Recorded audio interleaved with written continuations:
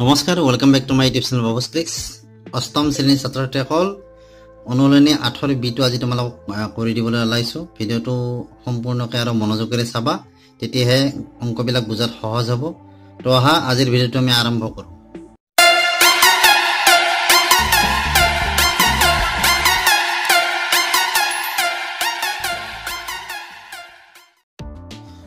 তো অনুলনী আঠৰ এ আঠৰ বি এ নহয় বি।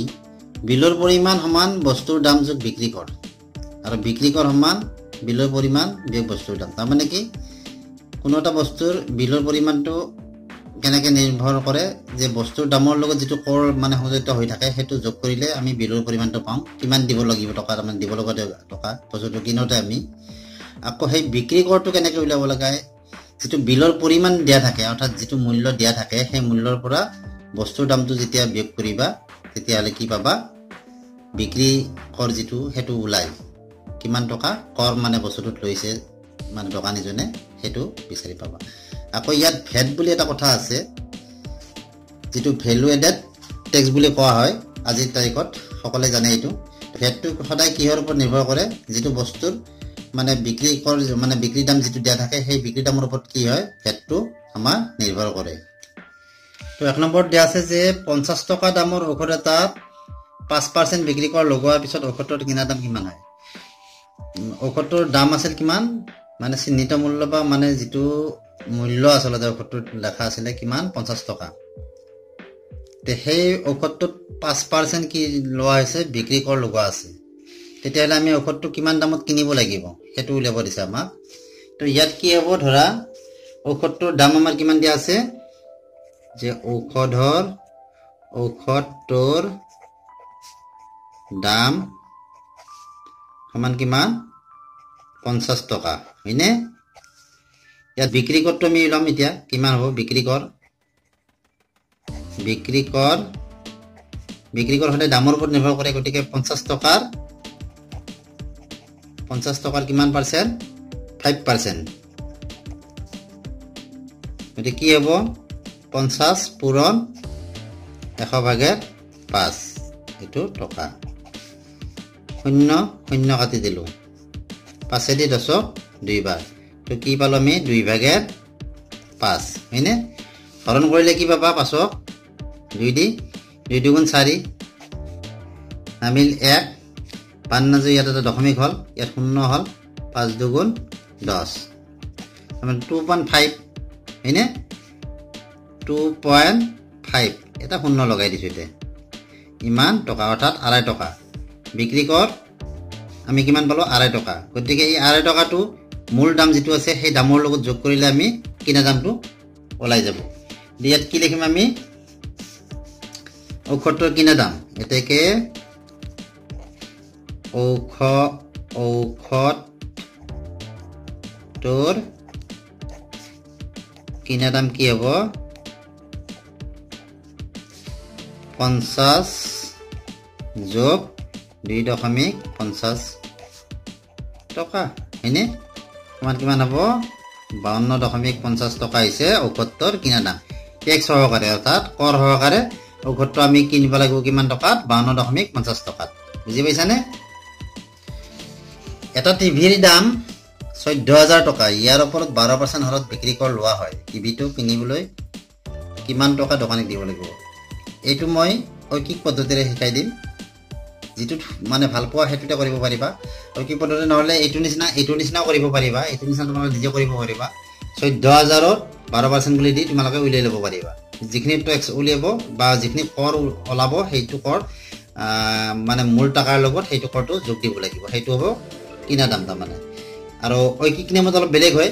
ঐকিক নিয়মত কেনে হয় চোৱা মই ঐকিক নিয়মতে কৰি দিম এইটো। তো ইয়াত বাৰ পাৰ্চেণ্ট বিক্ৰী কৰি আছে। গতিকে টিভিটোৰ মূল্য যদি আমি এশ টকা বুলি ধৰোঁ তেতিয়াহ'লে কিনা দাম কি হ'ব? বাৰ পাৰ্চেণ্ট হ'লে এশ বাৰ টকা হ'ব। কাৰণ বাৰ পাৰ্চেণ্ট টেক্স দিয়া আছে। গতিকে এতেকে টিভিটোৰ মূল্য এক টকা হ'লে কিনা দাম কিমান হ'ব? এশ ভাগেৰ এশ বাৰ। হয়নে? এতেকে টিভিটোৰ মূল্য কিমান দিয়া আছিল আমাৰ? চৈধ্য হাজাৰ টকা। টিভিটোৰ মূল্য চৈধ্য হাজাৰ টকা হ'লে কিনা দাম কিমান হ'ব? এশ ভাগেৰ এশ বাৰ পূৰণ কি হ'ব আমাৰ? চৈধ্য হাজাৰ। এই শূন্য এই শূন্য কাটি দিলোঁ এই শূন্য এই শূন্য কাটি দিলোঁ হয়নে? তো ইয়াত তলত কি আছে? এক আছে গতিকে এশ চল্লিছ হলত আমি এশ বাৰ এইবাৰ কি কৰিব লাগিব? পূৰণ কৰি দিব লাগিব। তো পূৰণ কৰিলে আমি পাম পোন্ধৰ হাজাৰ ছয়শ আশী টকা। তো টেক্স সহকাৰে টিভিটো এজন কাষ্টমাৰে কিমান হাজাৰ টকাত কিনিব লাগিব? পোন্ধৰ হাজাৰ ছয়শ আশী টকা। যিটো টিভিৰ দাম আছিল চৈধ্য হাজাৰ টকা। প্ৰকৃত মূল্য আছিল চৈধ্য হাজাৰ টকা। সেই টিভিটো পোন্ধৰ হাজাৰ ছয়শ আশী টকাত টেক্স সহকাৰে অৰ্থাৎ বাৰ পাৰ্চেণ্ট টেক্স হ'লে কাষ্টমাৰজনে কিনিব পাৰিব। তিনি নম্বৰটো দিয়া আছে যে আঠ পাৰ্চেণ্ট সংযোজিত কৰ দি ৰমেনে এটা ৱাটাৰ ফিল্টাৰ পাঁচ হাজাৰ চাৰিশ টকাত কিনিলে। তো ইয়াত ভেট দিয়া আছে কিমান? ভেট লগোৱা আছে এইট পাৰ্চেণ্ট ভেট যোগ কৰাৰ আগতে ৱাটাৰ ফিল্টাৰটোৰ দাম কিমান আছিল? তো এইটোও মই অভিজ্ঞমতে কৰি দিম তোমালোকক। তো ইয়াত ভেট এইট পাৰ্চেণ্ট বুলি দিয়া আছে। তো মই কি দেখিছোঁ যে যদি বস্তুটোৰ প্ৰকৃত মূল্য এশ টকা হয় তেতিয়াহ'লে এইট পাৰ্চেণ্ট টেক্স দিব লাগিলে বস্তুটো আমি কিমান টকাত কিনিব লাগিব? এশ আঠ টকাত কিনিব লাগিব। এইট পাৰ্চেণ্ট টেক্স হ'লে। এশ টকাত টেক্স হয় আঠ পাৰ্চেণ্ট গতিকে গতিকে কিনা দাম কিমান হ'ব? এশ আঠ টকা হ'ব। এতিয়া আমাকতো ভেটসহ মূল্যটো উলিয়াব দিয়া নাই। আমাক কি কৰিছে? ভেট যোগ কৰাৰ আগতে সেই বস্তুটোৰ মূল্য কিমান আছিলে? তো সেই বস্তুটোৰ মূল্য আছিলে এশ টকা। ভেট যোগ কৰাৰ পিছত কিমান হ'ল? এশ আঠ টকা। গতিকে আমি ওলটাই লিখিছোঁ ইয়াত কি যে ভেট মূল্য এশ আঠ টকা হ'লে প্ৰকৃত মূল্য হ'ব সেই বস্তুটোৰ এশ টকা। কাৰণ আমাৰ প্ৰকৃত মূল্যটো উলিয়াব পাৰিছে গতিকে আমি এই ওপৰৰ কথাখিনি আমি ওলটাই দিছোঁ। তো এতিয়া কি লিখিম? এতেকে ভেটসহ মূল্য এক টকা হ'লে প্ৰকৃত মূল্য কিমান হ'ব? এশ আঠ ভাগেৰ এশ। এতেকে ভেট হোৱা মূল্য কিমান দিয়া আছিলে? পাঁচ হাজাৰ চাৰিশ টকা। ভেট হোৱা মূল্য পাঁচ হাজাৰ চাৰিশ টকা হ'লে প্ৰকৃত মূল্য আমাৰ কিমান হ'ব?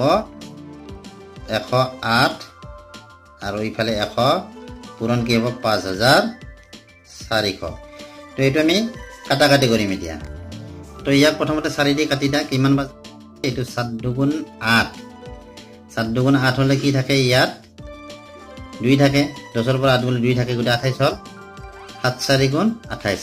তো সাতাইছ বাৰ গ'ল এইটো হয়নে? আৰু এইটো কিমান বাৰ যাব? চাৰি গুণ চাৰি। এক থাকিল পাঁচৰ পৰা চাৰি গ'লে এক থাকে চৈধ্য হ'ল। সাত তিনি গুণ বাৰ। বাৰ হ'লে চৈধ্যৰ পৰা বাৰ গ'লে দুই থাকে বিছ। পাঁচ চাৰি গুণ বিছ। তো কিমান হ'ল? তেৰশ পঞ্চাছ এইটো। এইবাৰ ইয়াক ইয়াক সাতাইছক কেইবাৰ যাব? নবাৰ যাব। ন তিনি গুণ সাতাইছ। আৰু তিনি দিয়া কিমান হ'ব? সাত তিনি গুণ বাৰ হাতে এক পোন্ধৰ হ'ল কিমান হ'ল? পাঁচ তিনি গুণ পোন্ধৰ হয়নে? চাৰিশ পঞ্চাছ এইটো। আৰু নয় দি চাৰিশ পঞ্চাছক কিবা ন পাঁচ গুণ পঞ্চল্লিছ। তো পঞ্চাছ। এতিয়া এশ আৰু পঞ্চাছ পূৰণ হয়নে? এশ লগত যিটো পঞ্চাছটো পূৰণ আহিছে এইটো সদায় ওপৰত গুচি যায়। গতিকে কিমান পাবা? এশ আৰু পঞ্চাছ পূৰণ কৰিলে পাঁচ হাজাৰ। তো টিভিটোৰ প্ৰকৃত মূল্য টেক্স অৰ্থাৎ ভেট সংযোগ নহওঁতে প্ৰকৃত মূল্য আছিল কিমান? পাঁচ হাজাৰ টকা। আৰু ভেট সংযোগ হোৱাৰ পিছত টিভিটোৰ মূল্য কিমান হৈ গৈছিল? পাঁচ হাজাৰ চাৰিশ টকা। তো এনেদৰে তোমালোকে উলিয়াব পাৰিবা। তো চাৰি নম্বৰটো আছে যে এটা হাৰমনিয়ামৰ দাম পাঁচ হাজাৰ পাঁচশ টকা। হাৰমনিয়ামটোত তোৰ ফাইভ পাৰ্চেণ্ট বাৰ্তা পোৱাৰ পিছত ফাইভ পাৰ্চেণ্ট বিক্ৰী কৰ দিব লাগিব। হাৰমনিয়ামটোৰ কিনা দাম নিৰ্ণয় কৰা। তো হাৰমনিয়ামটোৰ প্ৰকৃত দাম বা চিহ্নিত মূল্য কিমান দিয়া আছিল? পাঁচ হাজাৰ পাঁচশ টকা। হয়নে? তে ইয়াত দোকানে কি কৰিছে? ফাইভ পাৰ্চেণ্ট বাৰ্তা দিছে। তাৰমানে পাঁচ হাজাৰ পাঁচশ টকাৰ ফাইভ পাৰ্চেণ্ট আমি উলিয়াব লাগে। প্ৰথমতে আমি ৰেহাইটো উলিয়াই ল'ম তাৰপিছত আমি বিক্ৰী কৰটো যোগ কৰিম তাৰ লগত। বুজি পাইছানে? বিক্ৰী কৰটো উলিয়াই লৈ আমি যোগ কৰিলে হাৰমনিয়ামটোৰ কিনা দামটো ওলাই ওলাই যাব। তো আমি প্ৰথমতে কি কৰোঁ? পাঁচ হাজাৰ পাঁচশ টকাৰ পৰা ফাইভ পাৰ্চেণ্টটো আমি উলিয়াই ল'ম। তো কি দেখিছোঁ যে হাৰমনিয়ামটোৰ মূল্য হৈছে পাঁচ হাজাৰ পাঁচশ টকা ৰেহাই বা বাৰ্তা দি আছে ফাইভ পাৰ্চেণ্ট তো এশ টকাত অলপ বেলেগকৈ কৰিছোঁ মই এশ টকাত ৰেহাই পায় ৰেহাই পায় কিমান টকা? পাঁচ টকা। মই অলপ বেলেগকৈ কৰিছোঁ চাবা অলপ সহজভাৱে কৰি দিছোঁ। এতেকে এক টকাত ৰেহাই পাব কিমান? এশ ভাগেৰ পাঁচ। এতেকে পাঁচ হাজাৰ পাঁচশ টকাত কিমান টকা ৰেহাই পাব? এশ ভাগেৰ পাঁচ পূৰণ পাঁচ হাজাৰ পাঁচশ। শূন্য শূন্য শূন্য শূন্য কাটা গ'ল তো কিমান থাকিল? কিমান পালাক পাঁচ পাঁচ গুণ পঁচিছৰ পাঁচ হাতে গেল দুই। ইটোৰ লগত এইটো পূৰণ হৈ আছে দেই।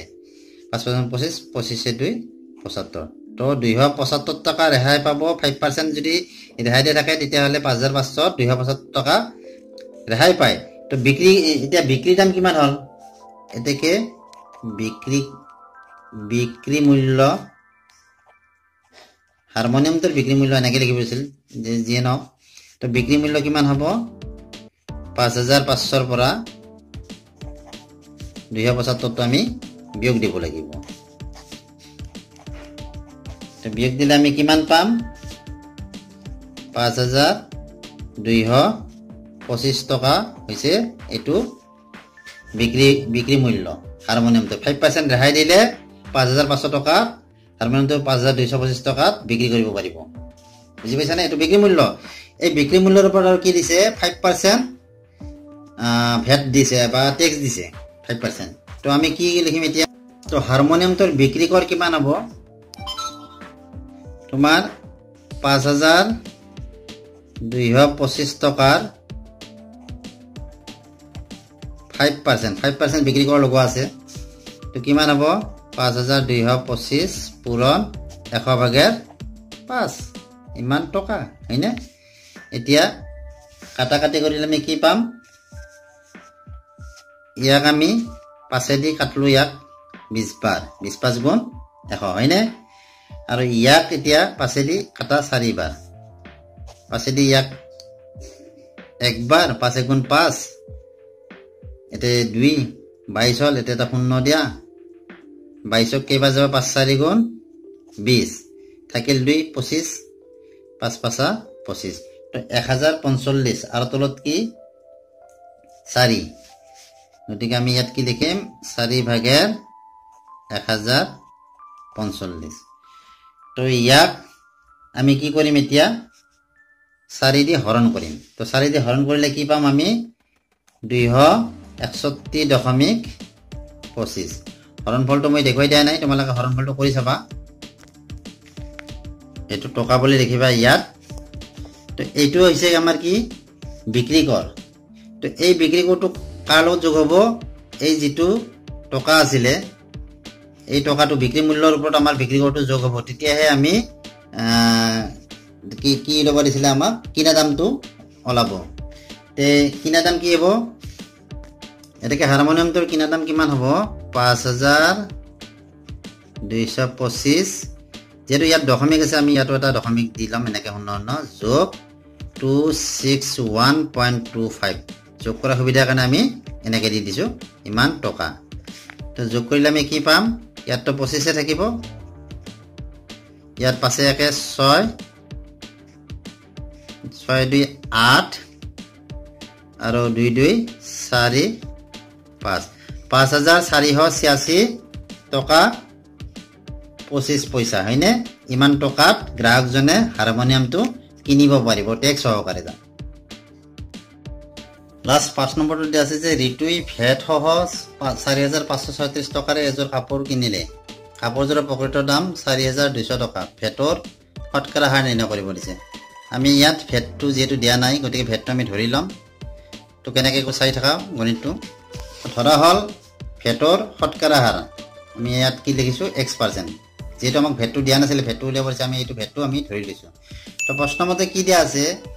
যে এই যিটো প্ৰকৃত দাম আছে সেই প্ৰকৃত দাম আৰু কি ভেটৰ যিটো শতকৰা হাৰ অৰ্থাৎ কিহৰ প্ৰকৃত দামৰ ওপৰত মানে ভেটৰ দামটো মানে নিৰ্ভৰ কৰিব। প্ৰকৃত দাম যোগ এই প্ৰকৃত দামৰ এক্স পাৰ্চেণ্ট সমান কিমান আমাৰ? চাৰি হাজাৰ পাঁচশ ছয়ত্ৰিছ টকা। তো আমি কি লিখিছোঁ চাবা? তো বিয়াল্লিছশ টকা বিয়াল্লিছশ টকা যোগ বিয়াল্লিছশ টকাৰ কিমান পাৰ্চেণ্ট এক্স পাৰ্চেণ্ট সমান কিমান? তাৰমানে এইটো মিলি কিমান দাম? ভেট সহকাৰে চাৰি হাজাৰ পাঁচশ ছয়ত্ৰিছ টকা। এই বিয়াল্লিছশটো বিয়াল্লিছশ যোগ কিমান? বিয়াল্লিছশ পূৰণ এক্স পাৰ্চেণ্ট মানে এশ ভাগেৰ এক্স সমান চাৰি হাজাৰ পাঁচশ ছয়ত্ৰিছ। চাৰি হাজাৰ পাঁচশ ছয়ত্ৰিছ সূচীত এষষ্ঠি লিখিলোঁ মই চাৰি হাজাৰ পাঁচশ এইটো ছয়ত্ৰিছ। বিয়াল্লিছশটো ইফালে আছিলে আমি সোঁফালে লৈ যাম যিহেতু আমাৰ এক্সৰ মানটো উলিয়াব লাগিব। গতিকে প্ৰথমতে আমি কি কৰিলোঁ বিয়াল্লিছশ পূৰণ এশ ভাগেৰ এক্সটো ইফালে ৰাখি এইটো সোঁফালে লৈ যাম। চাৰি হাজাৰ পাঁচশ ছয়ত্ৰিছৰ পৰা এইটো কি হ'ব ইফালে যোগ আছিলে সিফালে গ'লে বিয়োগ হ'ব। বিয়োগ কৰিব লাগিব। বিয়োগ কৰিলে আমি কিমান পাম? এইটো বিয়োগ কৰিলে আমি পাম কিমান? তিনিশ ছয়ত্ৰিছ তিনিশ ছয়ত্ৰিছ টকা আমি ইয়াত বিয়োগ কৰিলে চাৰি হাজাৰ পাঁচশ ছয়ত্ৰিছৰ পৰা বিয়াল্লিছশ বিয়োগ কৰিলে আমি কি পাম? তিনিশ ছয়ত্ৰিছ আকৌ এই বাওঁফালে যে আছে এইটো শূন্য এইটো শূন্য আৰু এইটো শূন্য এইটো শূন্য কাটি দিলোঁ কিমান থাকিলে ইয়াত? বিয়াল্লিছ থাকিল আৰু ওপৰতে এক্স গতিকে কি থাকিব এইটো? এইটো ফৰ্টি টু এক্স হ'ল ইয়াত। ফৰ্টি টু এক্স সমান কি? তিনিশ ছয়ত্ৰিছ এতিয়া এক্সটো বাওঁফালে ৰাখি দিয়া। এক্সটো আমি বাওঁফালে ৰাখি দিলে এইটো বিয়াল্লিছটো এক্সল পূৰণ হৈছিলে, সোঁফালে গ'লে কি হৰণ হ'ব তিনিশ ছয়ত্ৰিছ তলত কি হ'ব? বিয়াল্লিছ তো প্ৰথমতে ইয়াক আমি দুই দি হৰণ দিলোঁ। কিমান বাৰ যাব? একৈছ দুগুণ বিয়াল্লিছ হয়নে? আৰু দুই দি ইয়াক কিমান বাৰ যাব? তিনিক একবাৰ এক থাকিল। দুই গুণ তিনিবাৰ দুই গ'লে এক থাকিল, তেৰ হ'ল, ছয় দুগুণ বাৰ, আৰু এক থাকিল, আঠ দুগুণ ষোল্ল। ইয়াত একৈছেদি এশ আঠষষ্ঠিক যদি তুমি মানে হৰণ কৰা তেতিয়াহ'লে আঠবাৰ যাব। তো কি থাকিল তলততো একো নাই ওপৰত থাকিল আঠ। তাৰমানে আঠ পালোঁ অৰ্থাৎ আঠ পাৰ্চেণ্ট। এতেকে ফেট ফেটৰ হাৰ কি পালোঁ আমি? Eight percent. বুজি পাইছানে? এনেদৰে তোমালোকে যদি ভেটটো দিয়া নাথাকে ভেটটো উলিয়াব পাৰিবা। তাৰ কাৰণে প্ৰথমতে ধৰি ল'ব লাগিব ভেটটো। তো ভিডিঅ'টো আজিলৈ ইমানে ভিডিঅ'টো চাই ভাল লাগিলে চেনেলটো ছাবস্ক্ৰাইব কৰি ল'বা আৰু ভিডিঅ'বিলাক লাইক কৰি দিবা লগতে শ্বেয়াৰ কৰিবা যাতে তোমালোকৰ নিচিনা আন বহুতেই এই ভিডিঅ'বিলাকৰ সুবিধা লাভ কৰিব পাৰে। তো আজিলৈ আহিলোঁ বাই বাই